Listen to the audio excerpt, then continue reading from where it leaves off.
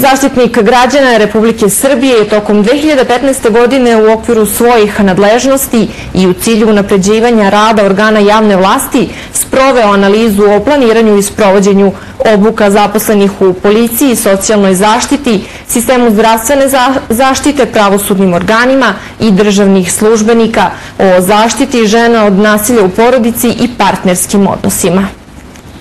Potreba za ovom analizom proistikla je iz rezultata istraživanja kako se primenjuju propisi i standardi rada u procesu zaštite žena koje je zaštitnik građana sproveo 2014. godine. Ono je između ostalog pokazalo i nedovoljno obučenost zaposlenih koja doprinosi neprepoznavanju nasilja i neadekvatnoj i neblagovremenoj reakciji na nasilje nad ženama. Kada imamo ženu žrtvu nasilja, da sistem na adekvatan način reaguje, pruži njoj zaštitu, a sa druge strane da onoga ko vrši nasilje na adekvatan način sankcionišemo. Država Srbija i sami znate je potpisala najznačajnije međunarodne ugovore i preuzela obavezu znači da će poštovati sve međunarodne standarde i principe.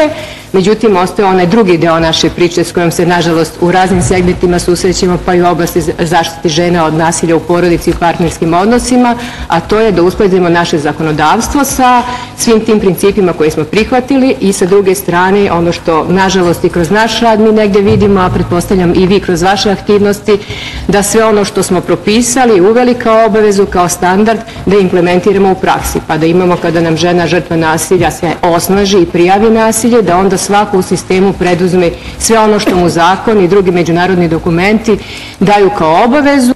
Samo 14% zdravstvenih radnika i saradnika pohađalo je neku obuku o nasilju nad ženama, a od preko 25.000 državnih službenika takvu obuku pohađalo je njih 235.